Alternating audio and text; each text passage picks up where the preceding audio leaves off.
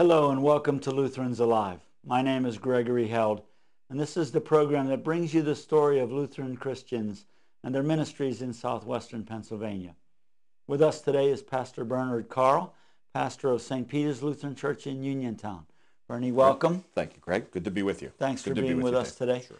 Um, Good to be here. Maybe, maybe just to give our folks a little bit of a sense of Mhm. um, the, the area where you serve, could you describe for us the setting of St. Peter's in Uniontown? Uniontown is is in southwestern Pennsylvania, very close to the the West Virginia border. Uh, we're probably 25 miles from Morgantown. Relatively rural community, uh, small townish, uh, but we have one of the highest levels of poverty in the state of Pennsylvania in in Fayette County. Uh, our our congregation uh, did a relocation about eight years ago. where we moved from a downtown area to, to more of a, of a suburb and, and built a new church. Uh, one of the interesting things about St. Peter's is that we had one time been part of the Slovak Zion Synod. Oh, okay. So I spent seven years in, in that synod. And then we built our new building. We became part of the Southwestern Pennsylvania Synod. Uh, we're, uh, we're not a large congregation. We're about 320 baptized members. Uh, worship about 100 on Sunday morning. So that will kind of give you an idea of uh, in, in, in the mountains of western Pennsylvania. And we're here today to talk about the development of a Lenten program. Yes. Um, it's called a Lenten Walk, and uh, we wanted to share a little bit of um, how, how, I mean, in most Lutheran congregations, at least, Lent is a significant time on the uh, liturgical calendar. Right. That time immediately before um, Palm Sunday and Easter, when we're looking toward uh, Holy Week and the great celebration of the church. Um, help help maybe viewers who aren't Mhm. Lutheran um, understand a little bit the place of Lent in the calendar. When we look at, at Lent, Lent always begins uh, 40 days before for Easter. Uh, for us as Lutherans, Ash Wednesday is is the day that that begins. It's always been seen as a penitential season, a time in which people prepare for for Holy Week and, and Easter, a time in which we we fast. Uh, in in past, it's always been let's give up something for for Lent.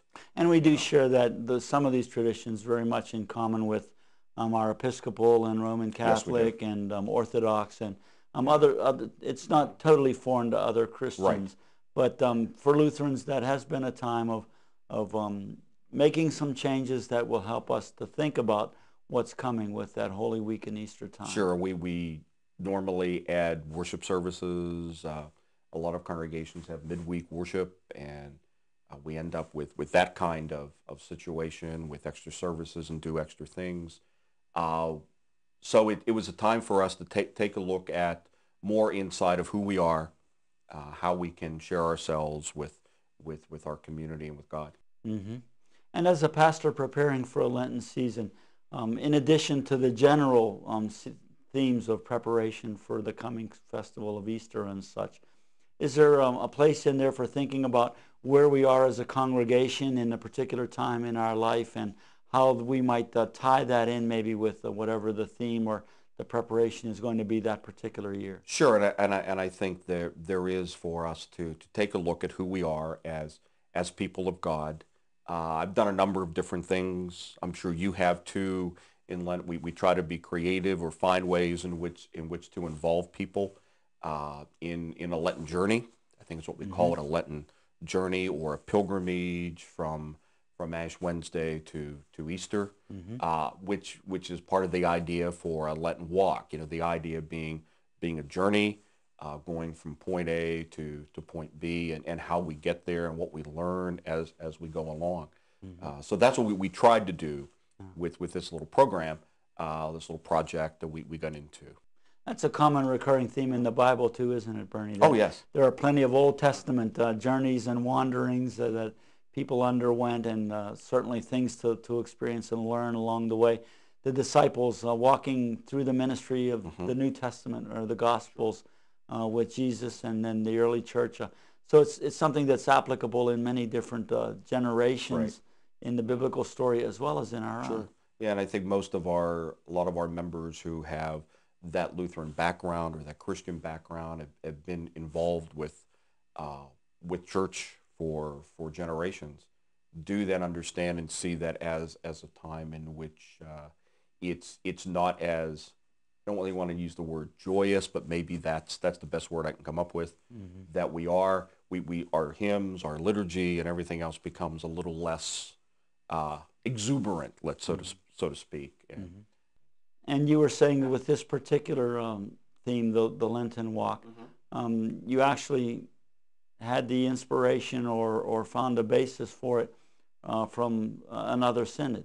my wife, who works for the ELCA as a regional gift planner, has she deals with other synods in, in our region, and one is Northwest Penn Synod, uh, north of us, and they had some ideas about doing a, a Lenten walk, or had talked about that because in that synod, what, what I understand, that they are very much involved with the the health and welfare of their pastors and trying to make sure their pastors uh, walk are in good health, and and so that it's a big uh, uh, it, it's it's a big issue for for them Strong up there. emphasis for that. Very much yeah. a strong emphasis. In in fact, because we had uh, borrowed, so to speak, their their idea Mhm. uh, to to do this, uh, the bishop up there, Bishop Ralph Jones, and his wife Sandra, had uh, had an intention of coming down to finish the walk with us. Oh, okay. Uh, it didn't work out, but because at the end of the walk, we were doing something kind of special uh, to, to end it with our with our membership. So, but they, they were not able to to do that. But that was one of the ideas that they that they had. We said, well, since we borrowed your idea, Mm-hmm. you know, and we, we kept them informed and uh, to do that. It is a very important connection, though, as you mentioned it, that um, not, not only is it a story that we hear or read in Scripture, but it has a personal application in our lives that uh, something that can both Mm-hmm. spiritually and physically um, make a difference, uh, Right.